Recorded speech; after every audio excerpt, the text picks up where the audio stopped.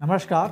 Person of the week में इस हफ़्ते पेश है एक ऐसे व्यक्तित्व की कहानी, जो अपनी कृतियों में भरता है सोने से रंग। जी हाँ सोने से रंग। उसकी कृतियों में रंग नहीं, बल्कि सोना, चांदी और मणि पत्थर से जो रंग बनता है, वो भरी जाती हैं। और इनसे जो कीमत होती है, जो पेंटिंग बनती है, उसकी कीमत करोड़ों में होती है।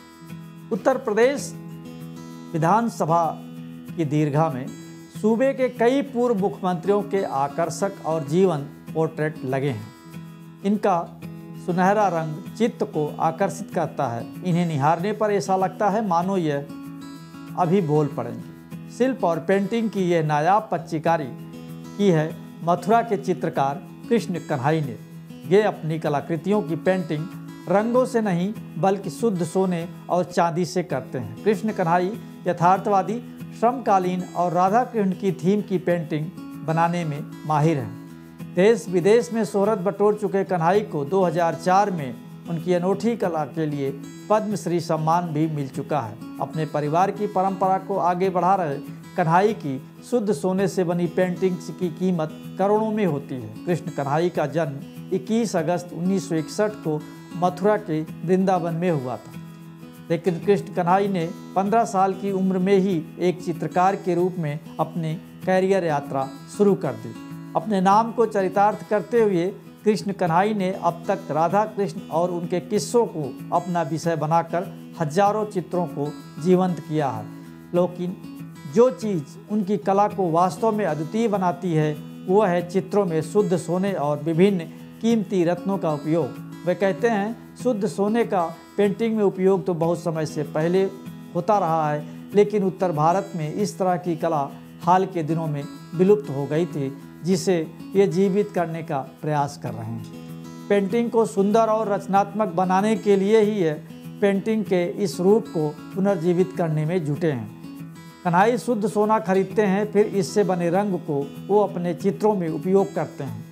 सोने के रंग से बनी उनकी तमाम पेंटिंग्स कई बड़ी हस्तियों ने खरीदी हैं। सोने का रंग पेंटिंग को जीवंत कर देता है। कन्हाई ने कई हस्तियों के भी चित्र बनाए हैं। तिरुपति बालाजी और भगवान कृष्ण पेंटिंग उनकी सबसे महँगी पेंटिंग्स में से एक है। इन्हें रंगने के लिए लगभग 500 ग्राम सोने का उपयोग किया गया। इसे पूरा करने में लगभग छः महीने का वक्त लग गया।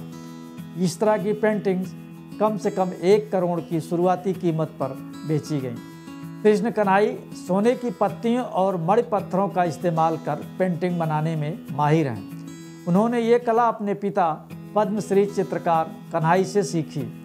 अब वृंदावन में कन्हाई आर्ट वर्क्स की परंपरा को ये आगे बढ़ा रहे हैं। भारत सरकार ने उन्हें 2004 में पद्मश्री पुरस्कार से सम्मानित किया था।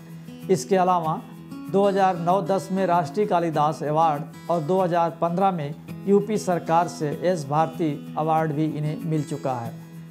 अगस्त 2016 में कृष्ण कन्हाई ने यूपी विधानसभा के लिए 40 पोर्ट्रेट पेंटिंग बनाई, जिनमें 20 पूर्व मुख्यमंत्री 18 विधानसभा अध्यक्ष और एक महात्मा गांधी की पोर्ट्रेट पेंटिंग शामिल है। इसके अलावा भारतीय संसद में लगे पूर्व प्रधानमंत्री अटल बिहारी वाजपेयी के लाइफ साइज़ पोर्ट्रेट को भी इन्होंने ही तैयार किया था। इनके पिता भी मशहूर कलाकार रहे हैं। इनके पिता का नाम कन्हाई था और उन्होंने बहुत सी मशहूर पेंटिंग्स बनाई। उन्होंने ही पेंटिंग्स में सोने का पाउडर, सोने की पत्तियाँ और मणि पत्थरों के उपयोग की प्रथा की शुरुआत की थी।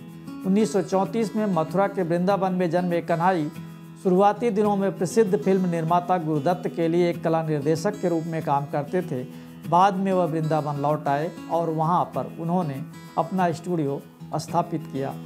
बाद में यही स्टूडियो कन्हाई आर्ट वर्ष बन गया, जहाँ पर कन्हाई के दो बेटे कृष्ण कन्हाई और गोविंद कन्हाई अपनी कलाकृतियों का निर्माण कर रहे हैं। कन्हाई को भी 2000 में भारत सरकार ने पद्मश्री अवार्ड से सम्मानित किया था। 14 अगस्त 2013 को इनका निधन हो गया। अब उनके दोनों बेटे उनकी परंपरा को आगे बढ़ा रहे हैं।